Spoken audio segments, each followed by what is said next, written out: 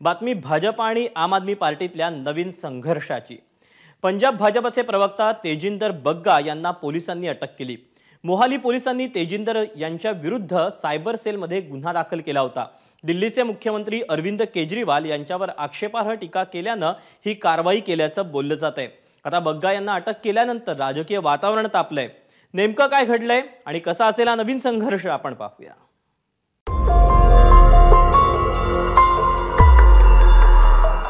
हे काही traffic jam नाहीये. वा पेट्रोलसाठीची रांगही नाहीये. तर इथे आहे एका बाजूनं पंजाब पोलीस आणि दुसऱ्या बाजूनं हरियाणा पोलीस.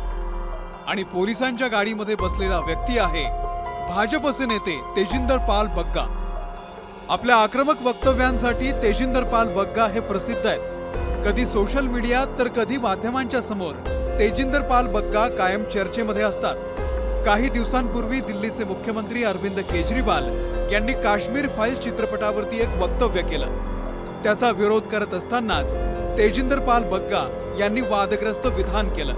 आणि त्यानंतर आपचं सरकार असलेल्या पंजाबमध्ये तेजिंदर पाल बग्गा यांच्या विरोधामध्ये गुन्हा दाखल झाला. त्यानंतर पंजाब पोलीस ऍक्शन मोडमध्ये आली आणि थेट दिल्लीमध्ये पोहोचले. तेही बग्गा यांना अटक करण्यासाठी. पण बग्गांवरील कारवाईची माहिती कळताच भाजपचे कार्यकर्ते रस्त्यावरती उतरले. तर दुसरीकडे बग्गा यांच्या वडिलांनी आपल्या मुलाचं अपहरण झाल्याची तक्रार दाखल केली. हम लोग घर में बैठे हुए थे चाय पानी पी के रेडी हुए थे जी। तो अचानक ये दो पुलिस वाले आए जो आगे भी दो तीन बार आ चुके हैं नोटिस लेके। वो आके बैठे हैं बड़ी शांति से उन्होंने बातचीत की है। आगे आते हैं, इज़्ज़त से बात करते हैं। हम लोग भी इज़्ज़त से उनको पानी, चाय वगैरह पिलाते हैं। वो आए उन्होंने बैठा बातचीत की। बातचीत करते करते अचानक बाहर का दरवाज़ा खोल के धड़धड़ाते हुए पंद्रह लगभग दस से पंद्रह के बीच होंगे, अंदर कमरे में घुसता है और उसको खींच के ले जाने लगे। बस कहानी कहाणीमध्ये इथेच ट्विस्ट आला. दिल्ली आणि हरियाणा पोलिसांची सूत्र हल्ली आणि बग्गा यांना घेऊन दिल्लीतून पंजाबकडे जाणारा पोलिसांचा ताफा हरियाणा पोलिसांनी अडवला. पंजाब पोलिसांनी आपल्या कारवाईचं समर्थन दिलं खरं पण हरियाणा पोलीस त्यांच्या मार्गामधून हटायला तयार नव्हते. हमने इनको पांच बार ऑन रिकॉर्ड इनको नोटिस दिया. भी आप आगे हमारी इन्वेस्टिगेशन ज्वाइन करो.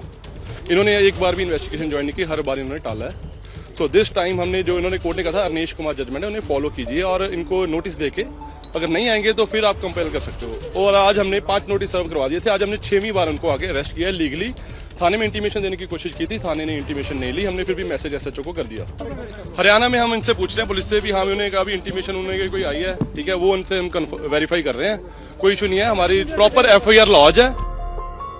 आम आदमी पार्टीचं सरकार आल्यापासून पंजाब पोलिसांनी दिल्लीमध्ये जाऊन केलेली ही काय पहिलीच कारवाई नाहीये. पूर्वी आम आदमी पक्षाचे कार्यकर्ते असलेल्या कुमार विश्वास यांच्या विरोधात कारवाई करण्यासाठी सुद्धा पंजाब पोलीस दिल्लीमध्ये पोहोचले होते. त्यामुळे बग्गांवरती कारवाई झाल्यानंतर कुमार विश्वास सुद्धा पंजाबच्या मुख्यमंत्र्यांना सुनवायला विसरले नाही. प्रिय छोटे भाई भगवंत मान खुद्दार पंजाब ने 300 साल में दिल्ली के किसी असुरक्षित तानाशाह को अपनी ताकत से कभी नहीं खेलने दिया. पंजाब ने तुम्हारी पगड़ी को ताज सौंपा है किसी बो ने दुर्योधन को नहीं। पंजाब के लोगों के टैक्स के पैसों और उनकी पुलिस का अपमान मत करो पगड़ी संभाल जट्टा। हे सगळं सुरू असतानाच दिल्ली पोलीसही घटनास्थळी पोहोचले आणि त्यांनी बग्गा यांना आपल्या गाडीमधून दिल्लीत परत आणलं. इथे सोशल मीडियामध्ये अरविंद केजरीवाल यांचा एक व्हिडिओ चांगलाच व्हायरल झाला. दो लोगों को उठा के जेल भेज दो सारे ठीक हो जाएँगे। आज मेरे पास पुलिस नहीं है। पुलिस होती इनको चार पाँच को जेल भेज देते सबकी सब सब ठीक हो जाते। जिस दिन पुलिस आएगी इनको ठीक कर देंगे आप चिंता मत कीजिए।